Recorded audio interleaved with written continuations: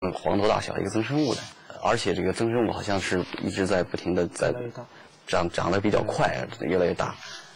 然后又过了大概有一个礼拜左右，那个增生物长长得大概有能把眼睛都遮住了二分之一到三分之一这个啊，越越一下就长起来了。嗯，哎，所以这个就是兽医就初步鉴定的是这个顺膜增生。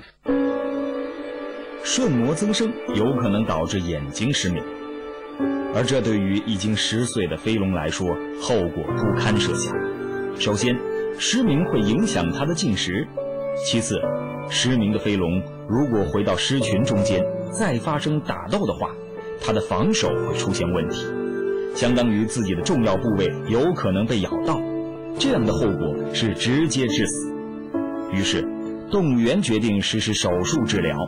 通过手术割去飞龙眼中的增生物，可是说起来容易，做起来难。要手术，第一步就得先麻醉。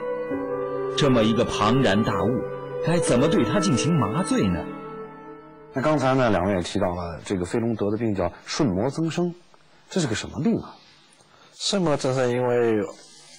呃，这个人的眼睛里面是只有上下眼睑，嗯，没呃，它的第三眼睑就是顺膜已经退化，退化成了内眦部分，嗯，那么动物这一块没退化，所以它在我内侧部分里面还有一块一块眼睑，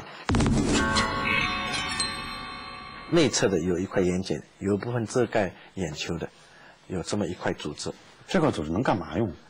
它主要也是保护眼球的，嗯。呃，如果是这样的话，有可能导致这个眼睛失明。第一关就是先逮住它呗，得麻醉。对，脑袋有多大？脑袋脑袋有这么大吗？也说不出来有多大。呃呃，如果是这个面对面跟他接触的话，还是非常有震撼力的。